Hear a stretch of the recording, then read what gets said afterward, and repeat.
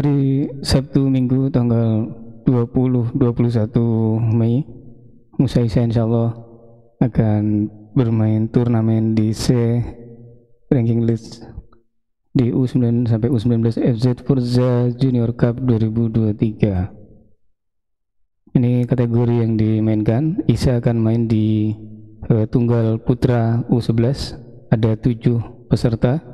Musa akan bermain di tunggal putra U13 ada 16 peserta dan Musa Isa akan berpasangan di ganda putra U13 ada 9 peserta Nah yang U11 ini ada tujuh peserta akan menggunakan sistem saling bertemu.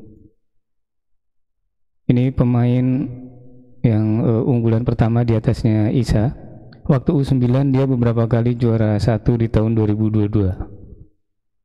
Dan rankingnya dia ranking 1355 dengan 3693 poin.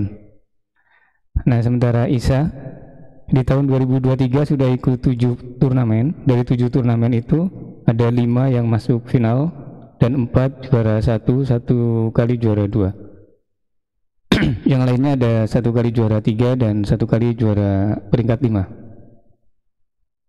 Dan Isa poin yang dikumpulkan sudah 1113, rankingnya 2721 dan besok Isa akan saling bertemu dengan setiap pemain yang setiap pemain yang lain. Isa mulai main jam 9 ini lawan Su Hangbai. Terus jam 9.30 melawan unggulan pertama Yun Song Su. Jam 11 ini ngelawan Edgar dari TSG Bergedorf.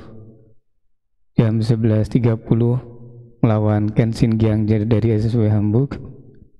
Jam 12.30 melawan Advait Kana Party dari BC68 Hamburg. Ini benderanya India ya. Kalau yang sebelumnya tadi ini Jerman.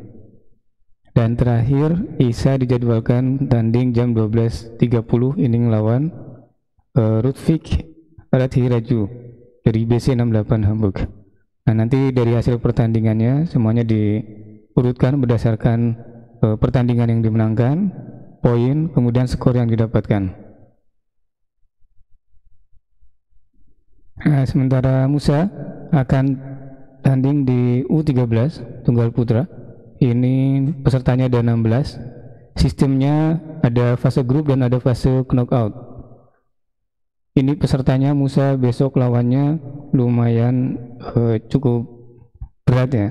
Jadi misalkan ini Musa sekarang ranking 1377 dengan poin 3619 dan Musa sudah ikut uh, turnamen. Ini secara total sudah ikut tujuh turnamen. Dan dari tujuh turnamen itu lima masuk final dua juara satu dan tiga juara dua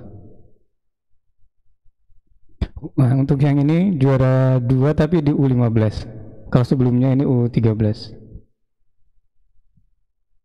Nah, misalkan lawan yang lain Ben Oser ini dia beberapa kali ikut uh, ranking A. Ya, waktu U11 dia 2000, tahun 2022 dia juara satu. Kemudian dia juara satu ini di U13. Terus di ranking A ini dia juara dua waktu U11.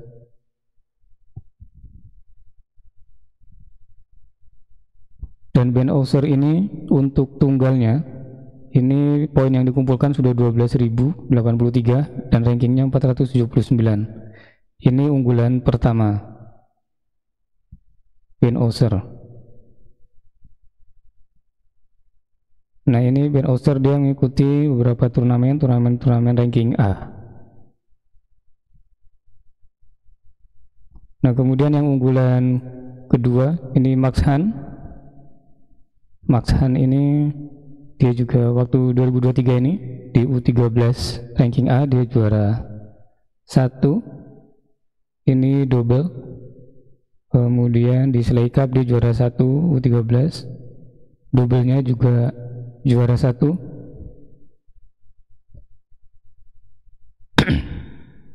Ini turnamen yang diikuti oleh Max Han rankingnya 663 untuk tunggal putra.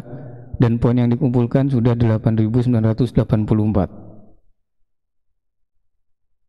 dan ini ranking rank, eh, turnamen yang diikuti oleh eh, Nico Cheng Xuan Wang Nico Cheng Xuan Wang dia mengikuti turnamen-turnamen ranking A Nico Cheng Xuan, eh, Xuan Wang itu unggulan keempat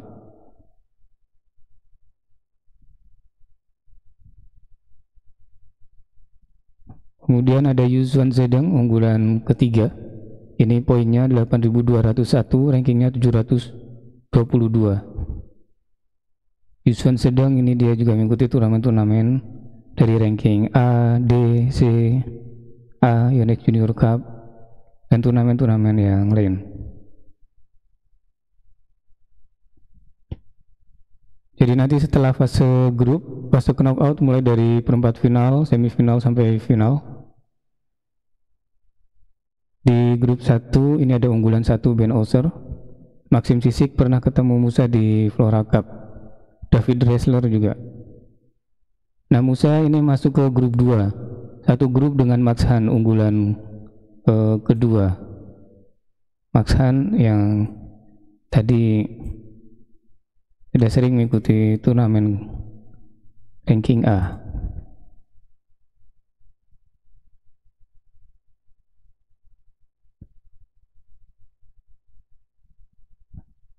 Ini Musa juga satu grup dengan Mewes Bristol dari TSV Tita dan Hao Xian Zhou dari Horner TV.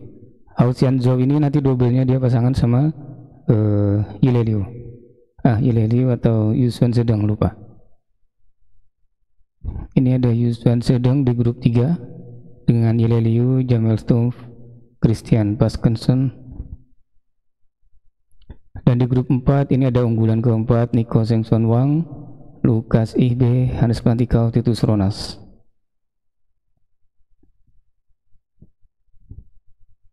Musa diprediksi di grup uh, kedua ini. Dia mungkin bisa menargetkan runner up grup 2 ya. Runner up grup 2 kalau misalkan runner up maka nanti akan bertemu dengan uh, juara grup 4 juara grup 4 ini kalau melihat dari poinnya diprediksi Nico Cheng Xuan Wang dari Horner TV itu akan bertanding di quarter final Nah, kemudian pemenangnya nanti di semifinal akan bertemu dengan pemenang eh, antara juara grup 1 dan runner up grup 3. Juara grup 1 ini diprediksi nanti adalah Ben ini. Itu untuk Musa di hari Sabtu juga untuk Isa untuk tunggal putranya. Untuk double-nya ini nanti Musa Isa akan berpasangan benderanya merah putih yang lain ada yang dari Jerman eh, bendera Jerman bendera Cina bendera Denmark Musa Isa ini karena pertama kali main double jadi dia eh, ada di urutan terakhir. Dan fasenya ada fase grup dan ada fase knockout. Ini eh, setelah fase grup nanti juara grup dan runner grup runner up grup akan bertemu di semifinal. Nah kemudian pemenangnya akan bertanding di final. Dan ada perebutan tempat ketiga di grup satu ini ada Max Han, Frederick Volkert dari SSW Hamburg kemudian Mewes Brestol, Titus Rinas, TSV Tritau Yile Liu, Hausian Zhao ini dari Horner TV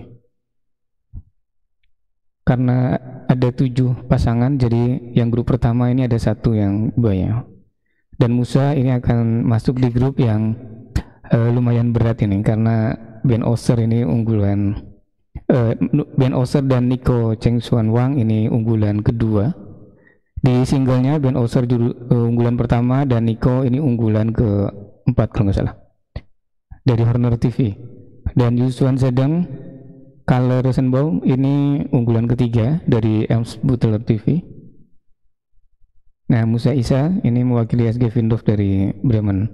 Hari Minggu ini rencana akan mulai bertanding jam 9. Musa Isa akan langsung bertemu dengan Ben Oser Nico Cheng Swan Wang.